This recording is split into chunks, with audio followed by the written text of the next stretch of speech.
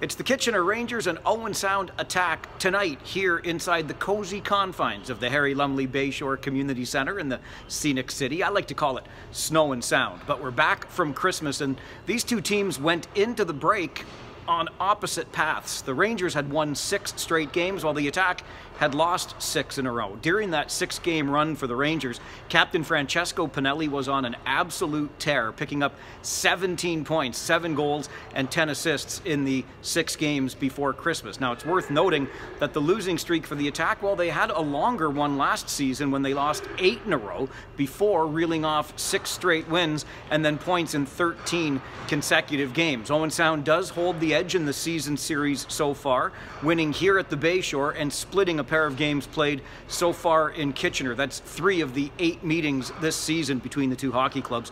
Colby Barlow leads the way in points for the Owen Sound attack. He and Francesco Pinelli tied for 10th in league scoring with 39 points apiece. It's the fourth meeting of the season between the Rangers and the attack. Here tonight in Owen Sound, we're on the air with the pregame at 6.30 on City News 570.